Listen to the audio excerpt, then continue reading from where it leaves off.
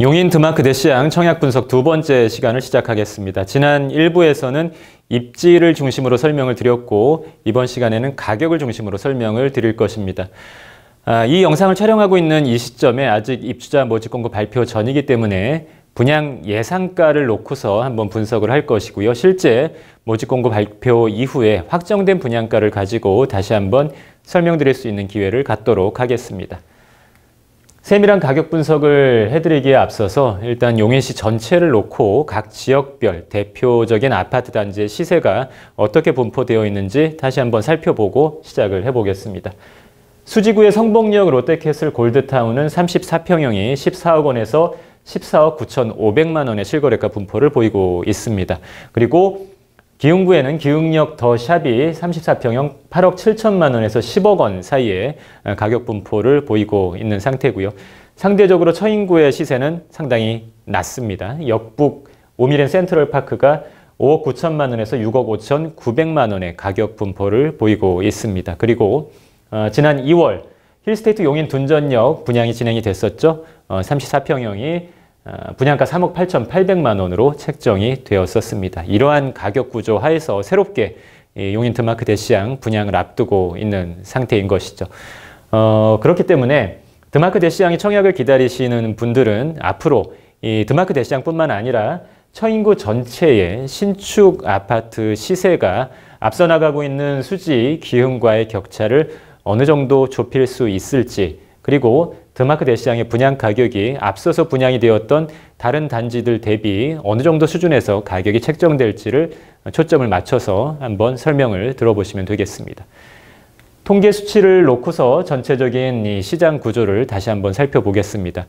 지난 1년간의 각 지역별 예, 시세의 상승률을 보시면 처인구는 11.3%, 그리고 기흥구는 42.6%, 수지구는 38.3%, 용인시 전체는 38.7%의 상승세를 보이고 있습니다.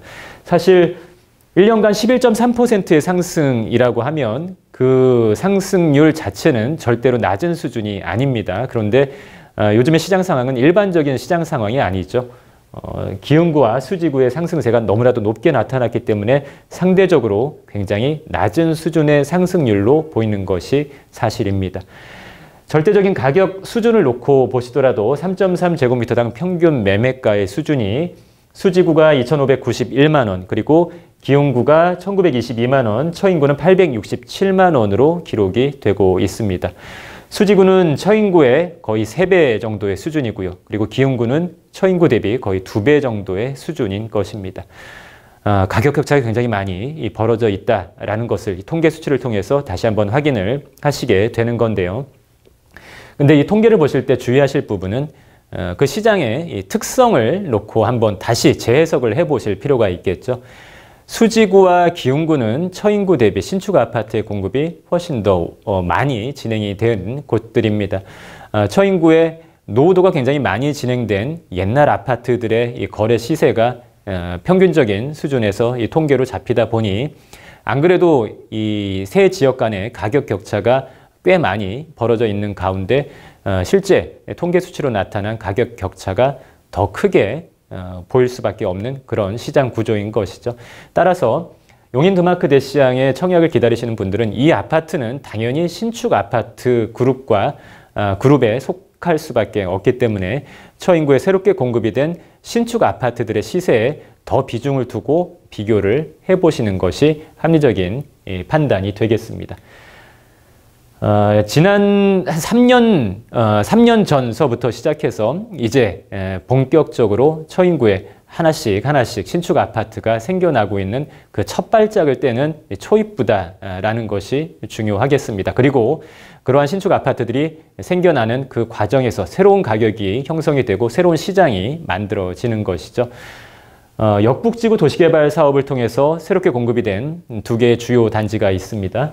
역북 지웰 푸르지오와 역북 우미린 센트럴 파크가 있을 텐데 아, 두 단지의 매매 가격을 보시면 34평형 가장 최근의 실거래가 그 최고 가격이 6억 5천 9백만 원으로 어, 동일한 가격이 각각 기록이 되고 있습니다. 전세 가격을 보시면 4억 6천만 원과 4억 8천만 원으로 기록이 되고 있는 상태죠. 전세가율을 계산을 해보시면 두 단지 모두 70% 전후에서 전세가율이 잡히고 있습니다. 만약에 전세가율이 70%가 아니고 훨씬 더 낮은 수준이라면 매매 가격과 전세 가격의 그 괴리가 벌어져 있는 상태라면은 이 가격 수준이 고평가되어 있다 혹은 거품이 끼어 있다라고 평가를 할 수가 있겠습니다만 지금은 그런 상황이 아니죠. 어, 실제의 실거주 수요가 반영이 된 안정적인 가격 구조라고 보시는 것이 맞겠습니다. 어, 그리고 어, 또 다른 이제 비교 대상 아파트 중에 하나가 지역주택조합 사업을 통해서 새롭게 공급이 되었던 명지대역 서희 스타일스가 있겠습니다. 분양권 거래 가격을 보시면 가장 최근에 4억 600만 원에 거래가 된 이력이 있습니다. 아직은 조합원 물량이 계속 시장에 출회가 되고 있어서 어, 각각의 그 실거래 가격마다의 편차가 좀 심한 편입니다. 그래서 실제 이 단지의 그 대표적인 가격은 이 정도 수준이다라고 이야기를 할 수 있으려면 조금 더 시간이 필요한 어, 상황으로 보여집니다. 아마도 입주 시점에 임박해서 혹은 입주 이후의 시세는 어, 역북지구의 아파트 시세보다는 좀 낮은 수준에서 안착을 할 것으로 보여집니다. 에버라인까지의 거리를 감안했을 때 역북지구보다는 좀 불리한 상황이기 때문에 역북지구보다 한 단계 정도 낮은 수준에서의 가격을 예상해 보시면 되겠습니다. 아, 그리고 이번에는 좀 다른 각도에서 가격 비교를 해보도록 하겠습니다. 아, 여러분들께서 어, 아파트의 시세를 분석을 하실 때 인접해 있는 지역들 간의 매매가의 격차가 상당히 크게 벌어져 있을 경우 대표적인 그 사례가 이 용인시가 되는 것입니다. 그럴 경우에는 매매 가격이 훨씬 높은 곳의 전세 가격과 내가 관심을 갖고 있는 이 매매 가격이 낮은 곳의 매매가를 견주어 보는 것이 굉장히 효율적인 비교 수단이 될 수가 있겠습니다. 소위 매매 전환 수요라고 하죠. 아, 굉장히 비싼 동네의 전세 가격과 내가 관심을 갖고 있는 좀 싼 동네의 매매 가격을 비교를 해보고 이 매매 가격이 저 비싼 동네 전세가 수준이라고 한다면은 차라리 내가 어, 이 집을 조금 더 싼 동네에 어, 집을 소유를 해버리겠다라는 수요가 어, 시장에 반영이 된다라는 뜻이죠. 바로 그러한 맥락에서의 비교가 되겠습니다. 그리고 이 전세 가격들은 조금 더 비싼 동네의 이 전세 가격들은 어, 가격이 낮은 곳에 매매 가격을 저지해주는 어, 저지선의 역할을 한다라는 것도 참고로 알아두시면 되겠습니다.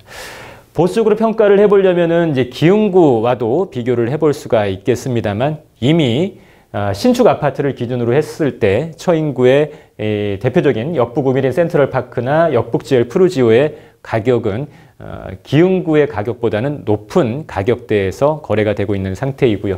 그리고 수지구의 평균 전세가 이 가격을 밑에 깔고 어, 매매 가격이 만들어지고 있는 그런 상태입니다.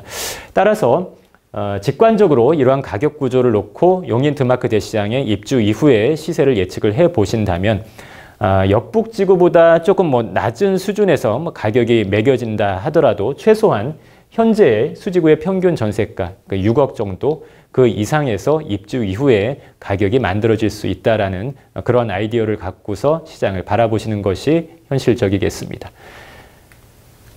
이번에는 이 지난 2월 9일에 변경이 된 어, 주택도시보증공사의 고분양가 심사 기준을 놓고 실제 분양가를 평가를 할 때 어느 정도 구간에서 분양가격이 책정이 될 수 있을지 계략적인 검토를 한번 해보도록 하겠습니다. 제가 다른 단지를 분석을 해드릴 때 아주 세세하게 이 허그의 고분양가 심사 기준 변경된 내용의 그 제도의 측면을 한번 설명을 드렸었죠. 어, 따라서 어, 이번 시간에는 그 제도의 전후 관계 전체 설명은 좀 생략을 하고 바로 사례로 적용을 해서 설명을 드리겠습니다. 첫 번째 그룹을 놓고 한번 비교 대상 사업장을 찾아서 가격을 찾아보셔야 되겠습니다. 첫 번째 A그룹은 최근에 분양을 했고 아직 준공이 되지 않은 입주를 하지 않은 아파트 단지들을 찾아서 비교를 해보는 것이죠.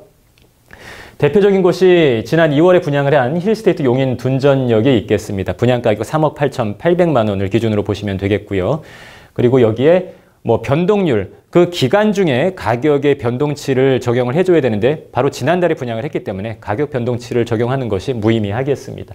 그리고 단지별 특성이라든지 뭐 사업 위험 그리고 입지의 우열을 가리는 가감률은 뭐 전체 단지 일단 어, 큰 우려를 어, 반영하지 않은 1의 수치를 고정해 놓고 평가를 해 보겠습니다. 이렇게 봤을 때 힐스테이트 용인 둔전역의 어, 원래 분양가 3억 8,800을 그대로 놓고 한번 따져보시면 되겠고 그리고 또 다른 사례가 있죠. 용인 명지대역 서희 스타일스 단지가 있습니다. 2019년 12월에 분양을 진행을 했었습니다. 이 단지와 같은 경우에는 매매 가격 상승분을 반영을 해 주셔야 되겠습니다. 2019년 4분기에 한국감정은 매매 가격 지수가 96.6이었고 2021년 1분기에 매매 가격 지수가 109.6으로 아, 상승을 했습니다. 그 기간 중에 변동률은 13.4%인 것이죠. 그 변동치를 반영을 해서 변동률 1.134를 곱해 주시고 가감률은 뭐 별도로 적용하지 않고 그냥 1로 고정을 해 놓겠습니다. 그러면 이 분양 가격이 4억 5천 상한선으로 잡을 수 있는 분양 가격 그 상한치가 4억 5천으로 어, 잡히게 되는 것이죠. 이렇게 동일한 성격으로 분류가 되는 단지들이 복수의 단지가 있을 경우에는 그 단지들의 평균 가격을 구해서 산정을 하게끔 되어 있습니다. 어, 그렇게 보실 때 4억 어, 2천이 채 되지 않는 가격, 약 4억 1,966만 원이 용인 드마크 대시장을 심사할 때 그 심사 상한 가격으로 기준을 잡아볼 수 있다. 이렇게 예측이 되는 것이죠. 이 가격으로 결정된다라는 것이 아니고 심사의 상한 가격인 것입니다. 가장 어, 이 높은 가격을 상정해 두고 그 이하에서 가격을 평가한다는 것이죠. 그리고 B그룹입니다. 두 번째 그룹에서는 최근에 분양을 했고 그리고 실제 입주까지 간 단지를 놓고서 평가를 해보는 것입니다.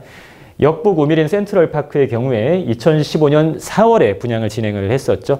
따라서 그 당시 2015년 2분기의 매매가격 지수로부터 현재 2021년 1분기의 매매가격 지수 그 변동치를 역시나 반영을 해 주셔야 되겠습니다. 당시의 분양가격 3억 2,580만 원에 가격의 변동률 1.098을 곱해주시고 가감률은 단지별 특성을 감안한 가감률은 그냥 1로 고정을 시켜 놓겠습니다.